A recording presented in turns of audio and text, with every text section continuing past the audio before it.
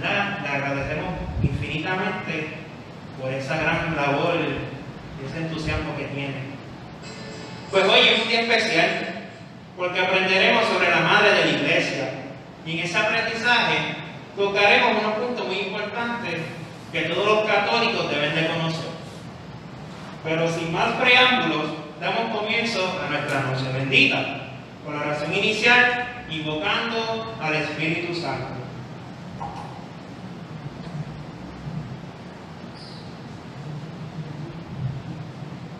En el nombre del Padre, del Hijo y del Espíritu Santo. Oración al Espíritu Santo.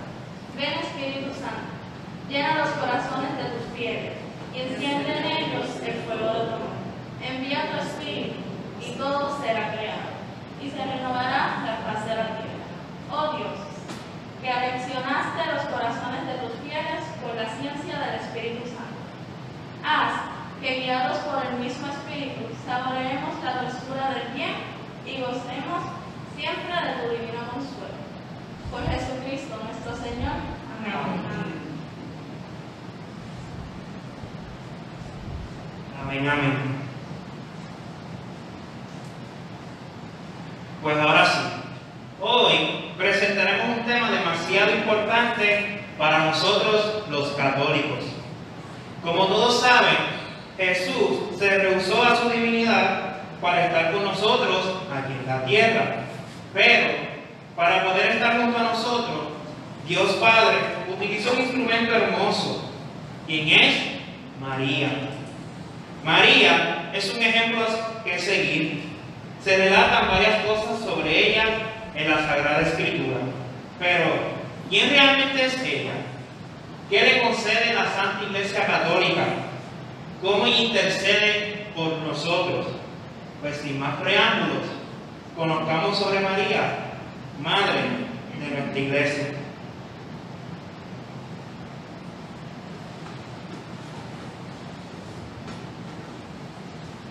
Buenas noches a todos los que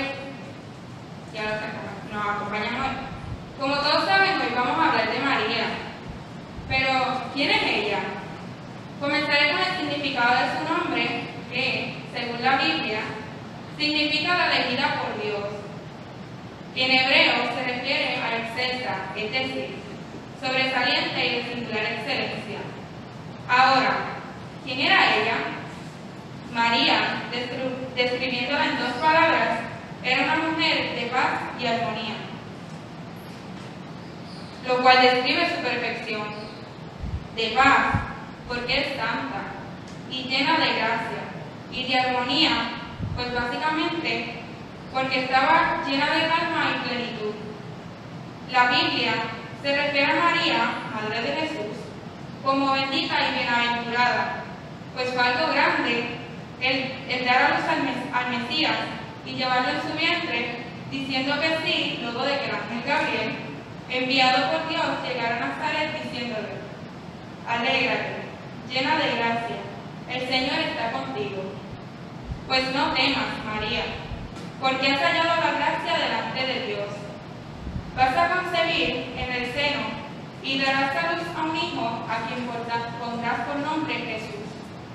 El Espíritu Santo vendrá sobre ti y el poder del Altísimo te cubrirá con tu sombras. Por eso, el que ha de nacer será santo. ¿Por qué María es tan grande? Pues ella es madre de Jesús. Jesús es Dios. Y básicamente en eso, consiste su grandeza, en ser madre. Ella lo que quiere es magnificar a Dios, no a sí misma. Porque cuando el ángel Gabriel le dijo que iba a dar a luz a un hijo sin ella conocer a un varón, es decir, ser virgen, claramente ella no entendía nada. Ella, en lugar de eso, tomó la, tomó la actitud de los pobres de Dios. Llena de paz, de dulzura y paciencia. Guardó sus palabras diligentemente y las meditó en su corazón. Aceptó el misterio de la vida y la voluntad de Dios, quedando en paz.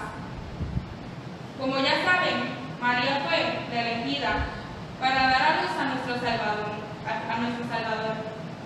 Pero ella, al decir que sí, cooperaba con, la salvación de todos nosotros. Ella fue quien se convirtió en madre de, todos nosotros cuando Jesús estuvo colgado en la cruz y le dijo a su discípulo Juan, He ahí a tu madre. Ella es tan importante que ocupa, luego de su hijo, el segundo lugar más alto y más cercano a nosotros que a su Hijo Jesús. Por eso debemos pedir que interceda por nosotros ante Él, porque nada más grande que nuestra María, y nada igual a ella, porque ella es única y pura, humilde y piadosa. Jesús entró por una puerta llamada María, por la cual todos nosotros deberíamos pasar. La Santa Trinidad, como ya saben, es Padre, Hijo y Espíritu Santo. Pues María está íntimamente unida a la Santa Trinidad, porque ella es hija del Padre, madre del Hijo y esposa del Espíritu Santo. San Francisco de Asís decía, Santa Virgen María, no hay ninguna mujer en el mundo semejante a ti. Eres hija y esclava del Altísimo, Rey Supremo, Padre Celeste. Eres madre del Santísimo Señor, nuestro Jesucristo y esposa del Espíritu Santo. María es una pieza muy importante en la vida de la Iglesia y de cada uno de nosotros. Su amor es una necesidad. María nos entrega el Santo Rosario como un camino de oración vocal, mental y contemplativa, donde vemos a María entregada en su totalidad a la obra de su Hijo, que es santo. Mientras más recemos el rosario, más ella intercede, intercede por nosotros. El rosario conmemora 20 misterios de la vida de Jesús y María, recitando después de anunciar cada uno de ellos un Padre Nuestro, 10 Ave Marías, un Gloria al Padre y finalizando con un salve y un rezo por las intenciones del Papa. El misterio gozoso se caracteriza por el acontecimiento de la encarnación desde la anunciación el regocijo del encuentro con Isabel y el nacimiento del divino, del divino niño. Y la presentación del episodio de Jesús con 12 años en el templo. Estos se rezan los lunes y los sábados.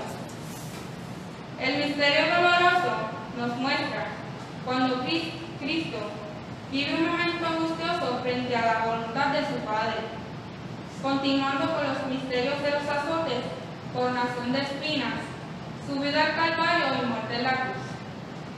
Estos se rezan los martes y los viernes. El misterio glorioso nos invita a superar la oscuridad de la pasión para fijarse en la gloria y la resurrección de Cristo y la ascensión. Además de la función de María y la coronación como madre y reina de todo lo creado. Estos se rezan los miércoles y domingos.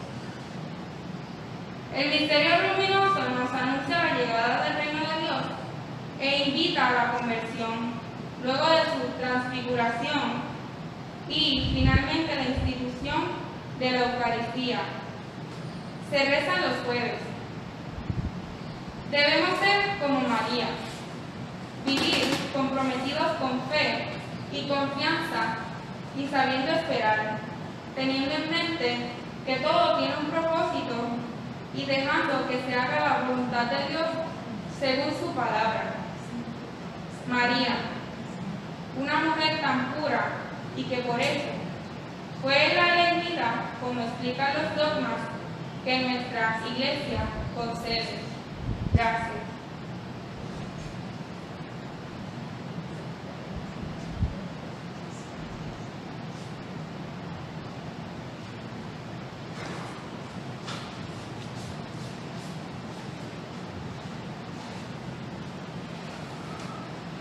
Muy buenas noches, queridos hermanos. Hoy yo les estaré hablando sobre el tema de los dogmas de María.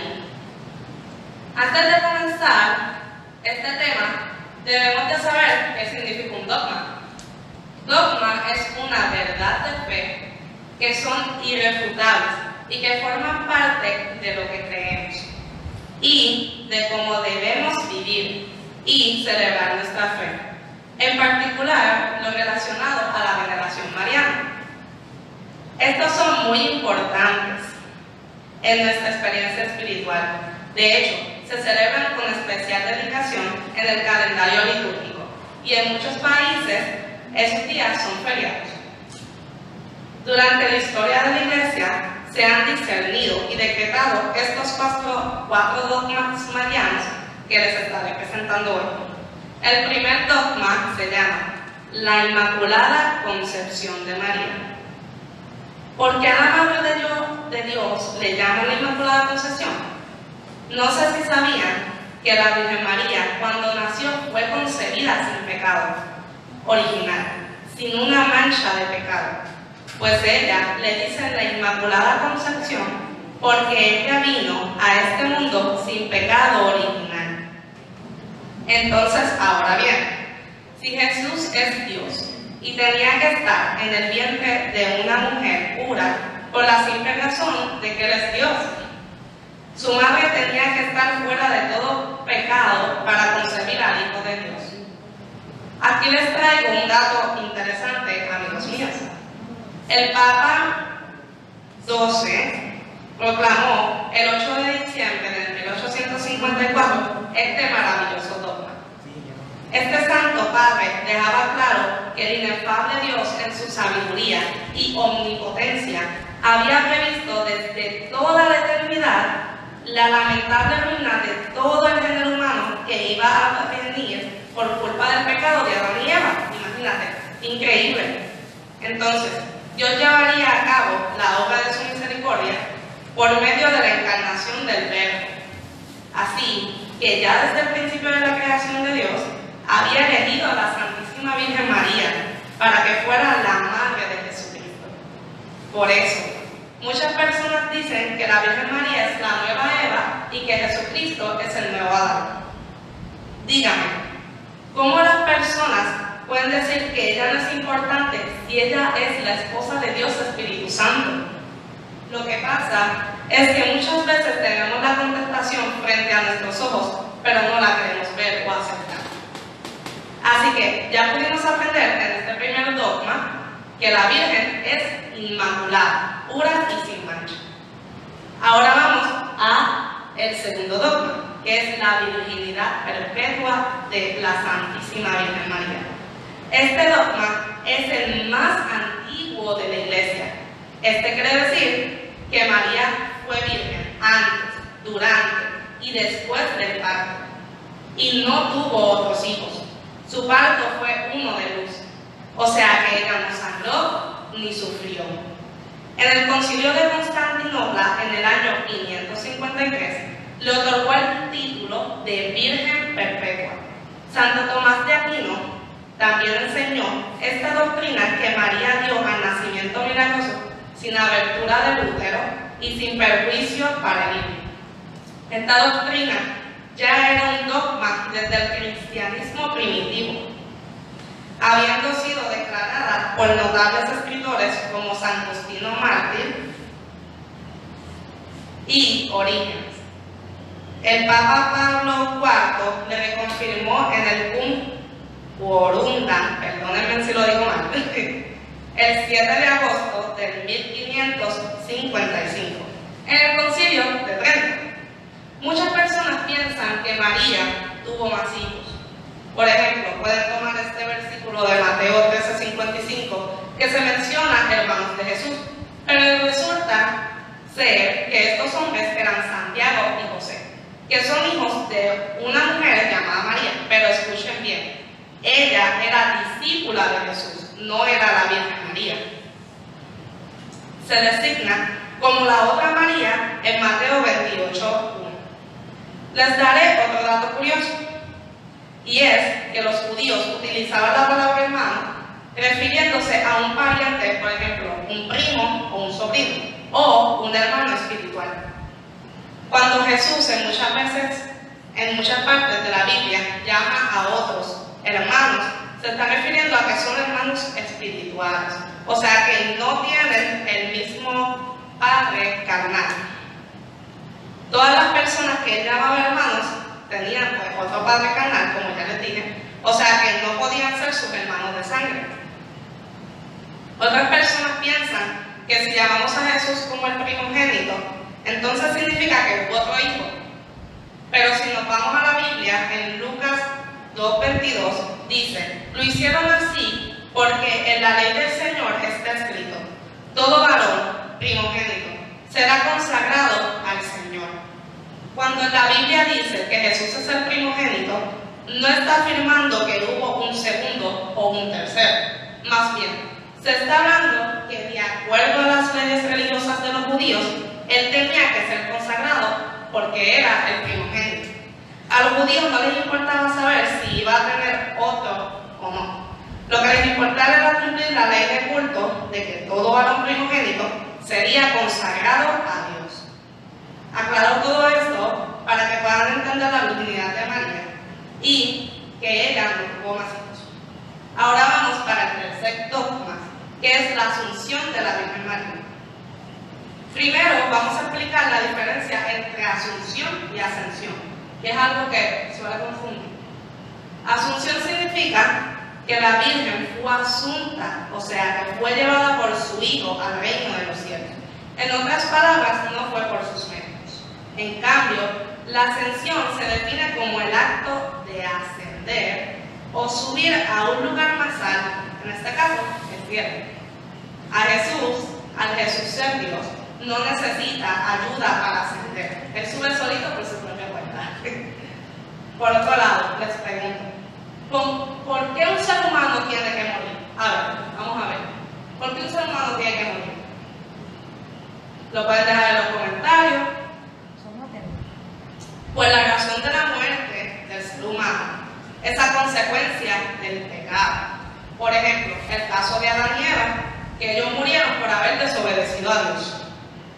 Puede ser que les haya parecido raro que hablara de la muerte. Estoy hablando de esto porque muchas personas dicen que María murió o se quedó dormida. Ahora les aclararé por qué ella no murió. Ya les expliqué que la muerte es consecuencia del pecado. Pues la Santísima Virgen, Madre de la Iglesia, al no tener ninguna mancha de pecado, no podía morir. Es imposible. Dios la creó tan, tan perfecta que ella hasta no podía pasar por el sufrimiento de morir. Claro, si es su esposa, ¿cómo iba a permitir que sufriera? Si no me creen sobre la asunción de María a los cielos, podemos leer en Apocalipsis, capítulo 12, versículo 1, que dice, una gran señal apareció en el cielo, una mujer vestida del sol, con una luna bajo sus pies y una corona de dos estrellas sobre su cabeza. Papa Pío, Papa Pío XII, proclamó el 1 de noviembre de 1950 en la Constitución Apostólica Munificentissimus Deus, la asunción de de la Virgen María. Finalmente, la Virgen Inmaculada, preservada inmune de toda mancha de pecado original, terminado el curso de su vida en la tierra, fue asunta en, cuerpo y alma a la gloria del cielo y enaltecida por Dios como reina del universo para ser confirmada más plenamente a su Hijo. Esto que dije lo pueden encontrar en Catecismo de la Iglesia Católica del 1966. Ahora vamos al cuarto dogma. Perdón si hablo muy rápido, que yo soy hiperactiva y hablo rápido. Pero si no me entienden, ustedes me dicen. Cuarto dogma, la maternidad divina. La maternidad divina es el fundamento del culto mariano. O sea que nosotros como católicos debemos reconocer que ella es nuestra madre. Porque muchas veces, lamentablemente, he escuchado católicos que no hablan cosas buenas de la Santísima Virgen. Así que reconozca que ella es su madre, nuestra madre y madre de Dios. Jesús es hombre y Dios al mismo tiempo. No es dos personas, sino que una persona que integra estas dos naturalezas. María entonces es madre de Jesús en su integridad, siendo así madre de Dios. Cerca de 200 obispos se reunieron en el año 473. Escuchen bien, 473. A discutir el tema y llegaron a la conclusión de que la Virgen María es madre de Dios porque su Hijo, es Cristo, es Dios. El Papa Clementino en el concilio de Éfeso lo expresó así. Si alguno no confesara que el Emanuel, o sea, Cristo, es verdaderamente Dios y que por tanto la Santísima Virgen es Madre de Dios, porque parió según la carne al verbo de Dios hecho carne, sea anatema, o sea, maldito. Muy fuertes las palabras de aquel Papa. Lo que está queriendo decir es que, ¿cómo no vas a reconocer que María es Madre de Dios? Que todo aquel que no confiese que ella es la verdadera Madre de Dios, sea maldito. Eso es lo que dice el Papa Clementino. Por otro lado, la fiesta de María, Madre de Dios, que en latín Madre de Dios es Teotokos. Es la más antigua que se conoce en el occidente y se celebra el 1 de enero. En las catacumbas o antiquísimos subterráneos de Roma, donde se reunían los primeros cristianos para celebrar la Santa Misa, se encuentran en pinturas con esta intención. Esta fiesta tiene la máxima categoría litúrgica, pues es una solemnidad. Por lo tanto, no, es, no solo es importante participar de la Eucaristía ese día, sino que como nosotros como católicos es una obligación asistir ese día a la Santa Eucaristía. En conclusión, podemos entender que estos cuatro dogmas de la Virgen María deben ser parte de nuestra. Y todavía siguen los expertos teólogos investigando sobre otros dogmas que podrían salir a la luz.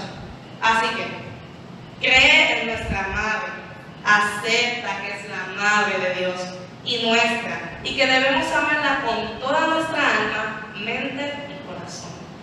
Ahora, quiero que repitas conmigo, María, Madre de Dios, ayúdanos a amarte como tú amas al Señor.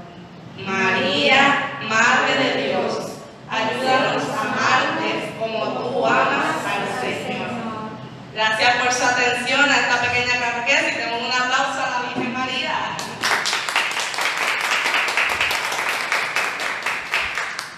Ahora bien, sé que ustedes conocen a muchos santos, muchísimos, muchísimos, y los veneran y oran para que ellos intercedan ante Jesús por tu petición. Pues deben saber que nuestra veneración a la Virgen María es mayor y debe ser mayor que la de los santos. Esto se conoce como hiperdulía. Ahora les dejo a mi compañerita en Cristi María, Debbie, que les estará hablando un poquito más sobre María Intercesora.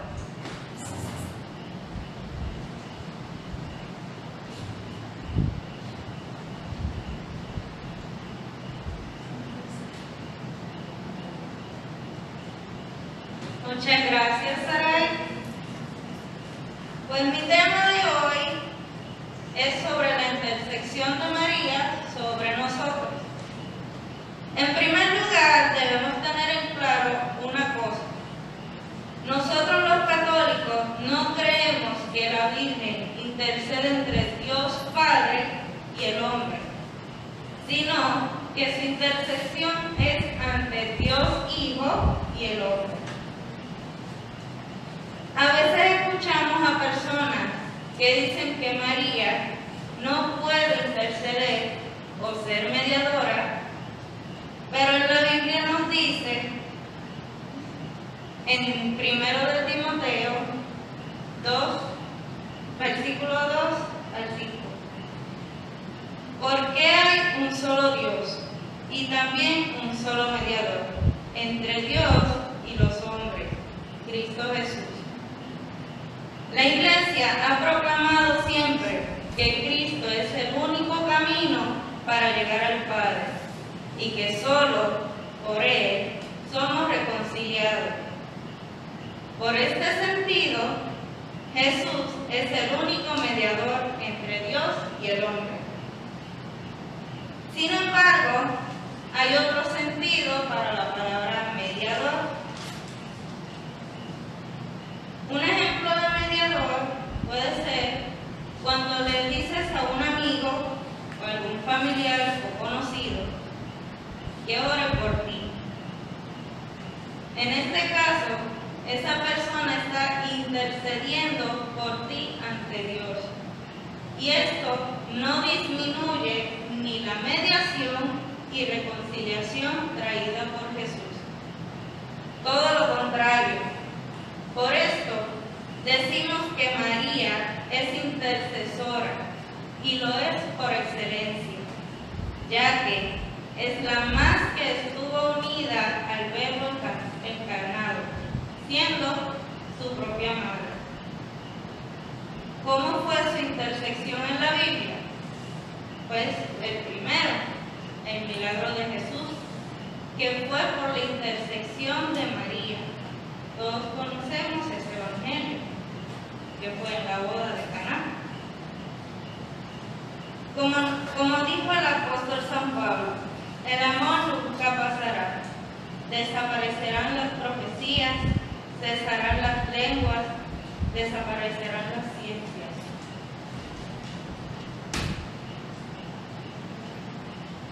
Si María intercedió en la tierra, con mayor razón lo hará estando plenamente unida a Dios en el cielo.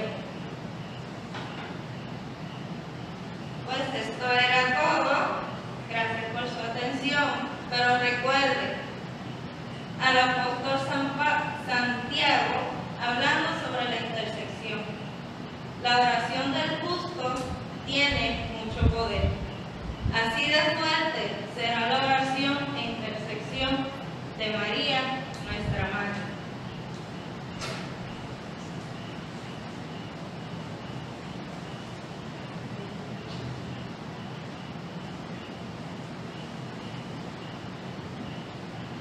Desinfectado, ¿verdad? Ah, estamos, aquí estamos, ¿verdad? Pero siguiendo todo el protocolo correspondiente, ¿verdad? Porque estamos aquí predicando, pero también tenemos que tener ese cuidado y ese mantenimiento, ¿verdad? De esterilización para poder, ¿verdad? Compartir, estar aquí, ¿verdad? Más o menos.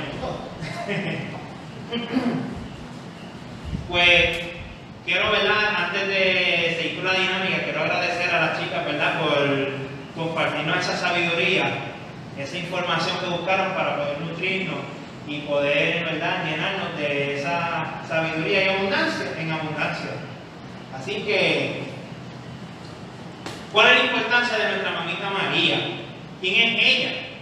Pues la elegida por Dios, Madre de Jesús y Madre nuestra, por ser entregada por su mismo Hijo, Jesús. Al ser tan especial, recibe veneración de los hombres y de las mujeres alrededor del mundo. Tanto respeto le tenemos que ella nos ama, ¿verdad? Por ser sus hijos que lleva nuestras plegarias a Jesús, que es precisamente todo lo que aprendimos en la noche de hoy. A esto se nos invita que la amemos porque merece respeto, como todas las madres de este mundo, que desarrollan a cada uno de sus hijos. Uno, dos, tres, cuatro, quince, veinte. Hay personas que tienen 20 hijos y a los 20 hijos los llena de amor y dedicación. Por otra parte, les presento una dinámica muy interesante en la que cada uno de nosotros van a participar. Así que hasta ustedes que están en su casa, ¿verdad? Sentaditos comoditos, van a participar en la sesión de comentarios. Y lo que vamos a hacer es lo siguiente. Estoy buscando aquí, ¿verdad? Porque quiero decirlo de la manera correcta para que ustedes me entiendan bien. La dinámica se titula Entrégalo a María o entrega solo a María.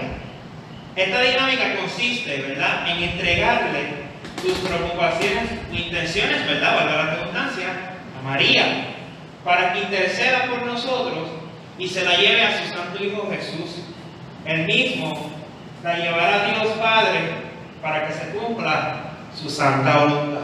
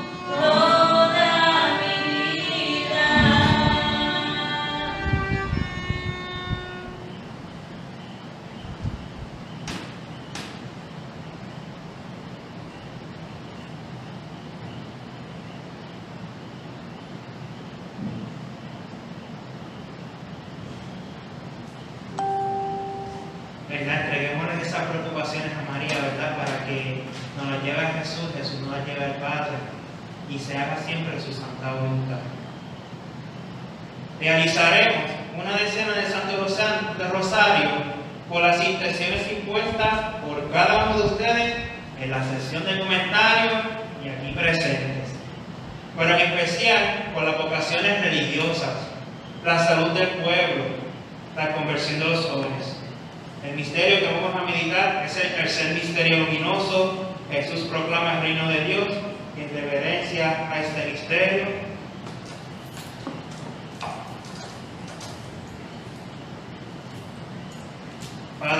estás en el cielo, santificado sea tu nombre, venga a nosotros tu reino, hágase tu voluntad que en la tierra como en el cielo.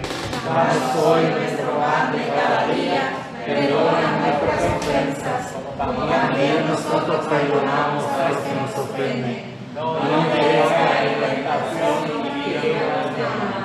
Dios te salve María, llena eres de gracia, el Señor es contigo. Bendita tú eres entre todas las mujeres y bendito es el fruto de tu vientre Jesús. Santa María, Madre de Dios, ruega por nosotros pecadores, ahora y en la hora de nuestra muerte. Amén. Dios te salve María, llena eres de gracia, el Señor es contigo.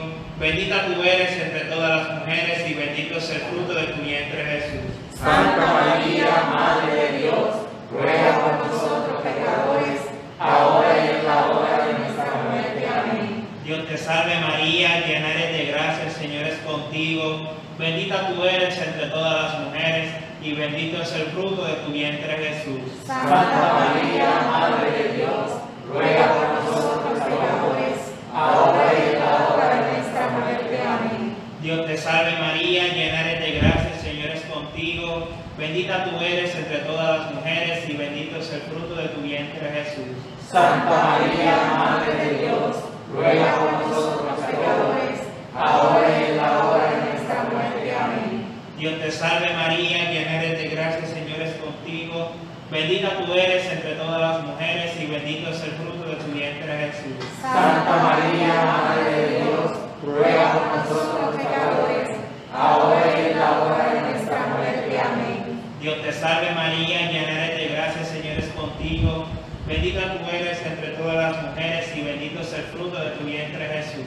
Santa María, Madre de Dios, ruega por nosotros pecadores, ahora y en la hora de nuestra muerte. Amén. Dios te salve María, llena eres de gracia, el Señor es contigo. Bendita tú eres entre todas las mujeres y bendito es el fruto de tu vientre Jesús. Santa María, Madre de Dios, ruega por nosotros pecadores, ahora y en la hora de nuestra muerte. Amén. Dios te salve María, llena eres de gracia, Señor es contigo. Bendita tú eres entre todas las mujeres y bendito es el fruto de tu vientre Jesús. Santa María, Madre de Dios, ruega por nosotros pecadores, ahora y en la hora de nuestra muerte. Amén. Dios te salve María, llena eres de gracia, Señor es contigo. Bendita tú eres entre todas las mujeres y bendito es el fruto de tu vientre Jesús. Santa María, Madre de Dios, ruega por nosotros pecadores, ahora y en la hora de nuestra muerte. Amén. Dios te salve María, llena eres de gracia, el Señor es contigo. Bendita tú eres entre todas las mujeres y bendito es el fruto de tu vientre Jesús. Santa María, Madre de Dios, ruega por nosotros pecadores, ahora y en la hora de nuestra muerte. Amén. Gloria al Padre, al Hijo y al Espíritu Santo. Como era un principio, y siempre, por los siglos de los siglos. Amén. María, Madre de gracia y Madre de misericordia. En la vida y la muerte te amparamos, Señora. Oh Jesús mío, perdona nuestros pecados, líbranos del fuego del infierno. Lleva a las almas, especialmente la más necesitada de tu misericordia.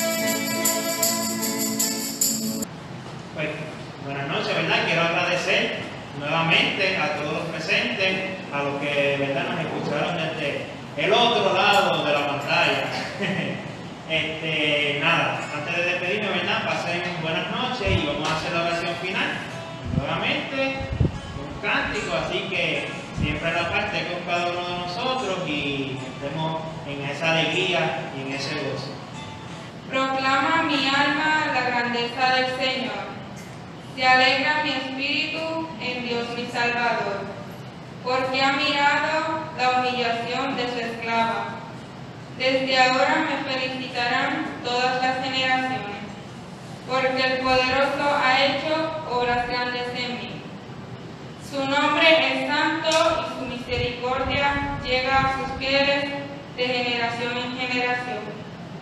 Él hace proezas con su brazo, dispersa los soberbios de corazón, derriba del trono a los poderosos y enaltece a los humildes. A los hambrientos los colma de bienes y a los ricos despide vacíos. Auxilia a Israel su siervo, acordándose de su santa alianza, según lo había prometido a nuestros padres, en favor de Abraham y su descendencia por siempre. Gloria al Padre, al Hijo y al Espíritu Santo, como era en un principio, ahora y siempre, por los siglos de los siglos. Amén.